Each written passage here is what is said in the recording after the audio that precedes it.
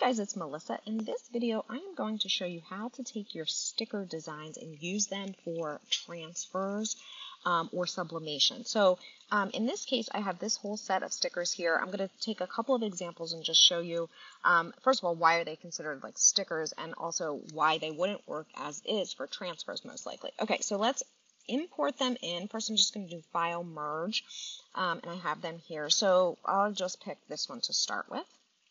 And what you can see is that this is a sticker design. It has a white border around it. So if you want to put this as a transfer on a shirt or you want to make this on sublimation, you probably don't want or need this white border. So we need to remove it somehow. So there's a couple of ways you can do this. I'm going to show you um, basically a trace by color option that is going to allow you to um, subtract out that white area. So we've got the design in here. We're going to go to the trace tool over here.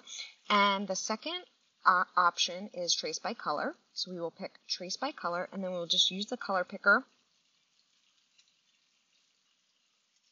not wanting to work. Okay, we're just going to select on there. And then what we're going to do, in this case, it's all one area, but I always like to pick one area anyway.